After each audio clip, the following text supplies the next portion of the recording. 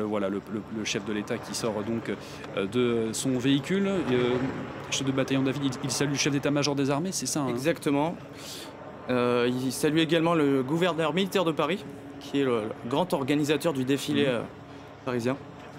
Défi- dé- défilé parisien et donc Emmanuel Macron qui va, euh, qui va donc euh, commencer donc cette euh, revue des, des troupes hein, d'une certaine manière cette, ce- cette descente des Champs-Élysées dans quelques instants main- maintenant.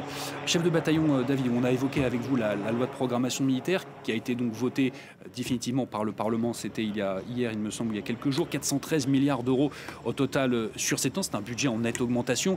On imagine que la guerre en Ukraine y a, y a joué pour beaucoup. hein.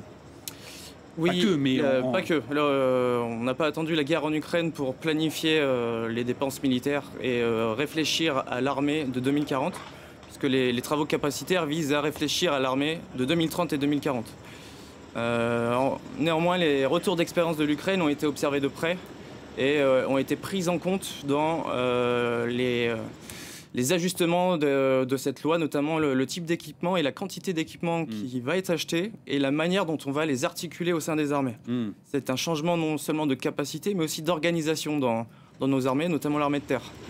Euh, je m'explique, ça va être par exemple le fait de mettre au sein d'unités euh, d'infanterie ou de cavalerie, qui sont de mêlée, des éléments de guerre électronique, des éléments de robotique, de drones, chose qui n'existait pas avant. Parce qu'on voit justement